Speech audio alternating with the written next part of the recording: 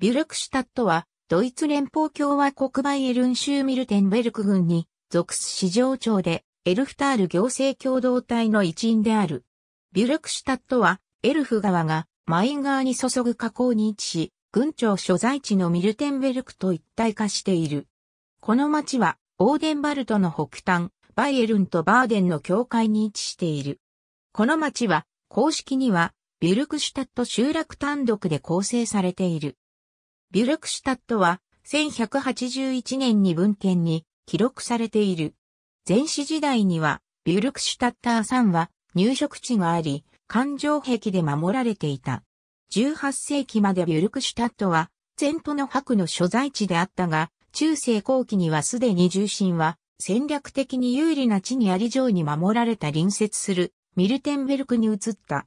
ローマ時代のミルイコーリョース途上は、その一部がビュルクシュタット町内にかかる。ビュルクシュタットの町議会は17議席からなる。かつてのビュルクシュタットの中央水車小屋にある博物館は、ビュルクシュタットのワイン作りと砂岩の切り出し及び加工に重点を置いている。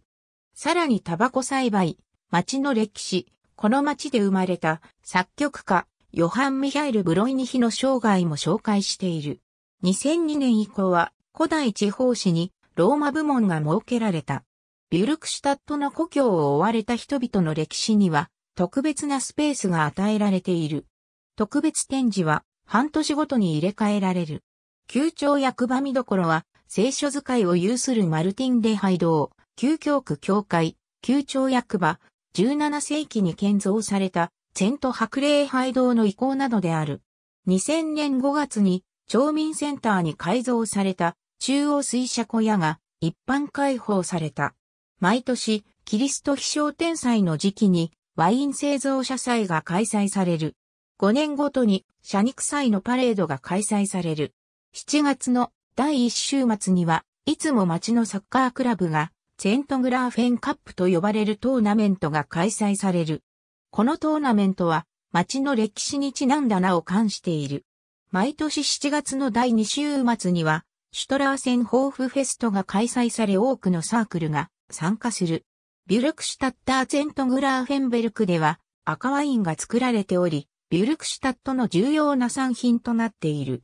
中でもブンテル砂岩の土壌に育つシュペートブルグンダーとフリューブルグンダーは大変に優れた赤ワインに熟成する。この町の最も有名なワイン製造者は、パウル・フィルストで、ゴーミヨワインガイドの2003年のワイン製造業者に選ばれた。この町のワイン製造業者は、ほぼ一貫して2週間ごとに、様々な種類のブドウから自家醸造したワインを市場に供給している。ビュルクシュタットは1990年からフランケン赤ワイン街道に面している。ブドウ栽培はビュルクシュタットで重要な役割を担っている。約60ヘクタールのブドウ畑を有する、この町は、ウンターフランケン最大のブドウ生産自治体である。ビュルクシュタットの赤ワインについては、1612年に初めて記録されている。ビュルクシュタットには、ウォータースライダーを備えた温水レクリエーションプール、運動場、テニスコート、スカッシュコートを有する屋内テニス場、遊園地がある。マイン渓谷の両方面への自転車道が整備されている。また、マイン川沿い、エルフ川沿い、ワイン山や森の中への遊歩道も多くある。ありがとうございます。